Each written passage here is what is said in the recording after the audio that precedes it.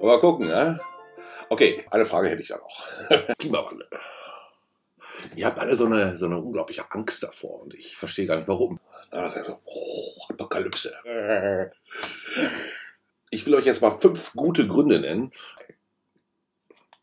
warum ihr keine Angst haben müsst vor dem Klimawandel. Ihr glaubt, die Erde geht unter.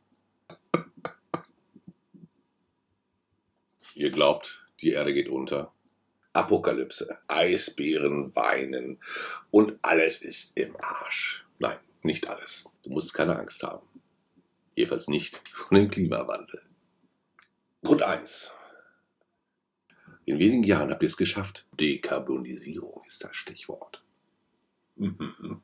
Ja, das heißt, ihr werdet gar keine Arbeitsplätze mehr haben, ihr werdet Hunger leiden, die Kühlschränke sind leer. Ravioli. Ravioli geht immer. Wisst ihr eigentlich, was ein Dachhase ist? So nannte man früher die Katzen. Also, wenn die abgezogen waren, dann hat man die verkauft, damit die Leute was zu fressen hatten. Manche haben auch Hunde genommen. Mit Ketchup geht alles. Und wenn dann einer zu euch kommt und sagt, Klimawandel, wir müssen alle sterben, dann sagt ihr zu ihm, verpiss dich doch einfach und lass den Hund da. Grund 2. In wenigen Jahren habt ihr die Nazis erfolgreich bekämpft marschieren die nicht mehr durch die Stadt. Dann kommen nämlich die zum Zuge, die ihr aus anderen Ländern hier rüber geholt habt. Die fühlen sich dann richtig zu Hause. Nur eben in Deutschland. Weil die sind jetzt nämlich alle Deutsche. Mhm. Und die dürfen dann wählen. Und die wählen dann nicht die Grünen. Nee, nee.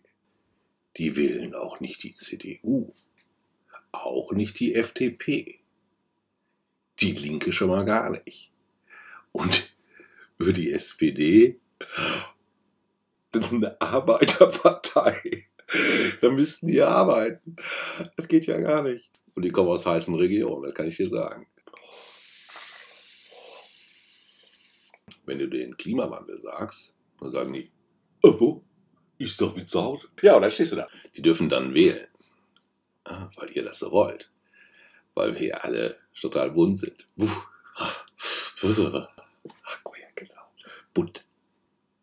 Die gründen auch eine Partei. Und dann reden die über neue Gesetze.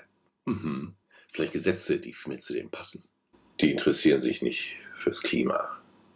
Die interessieren sich für Frauenrechte. Die interessieren sich für Religion. Die interessieren sich für Moscheen. Die interessieren sich für alles andere. Nur nicht für euer scheiß Klima. Und dafür wirst du dich dann auch interessieren müssen.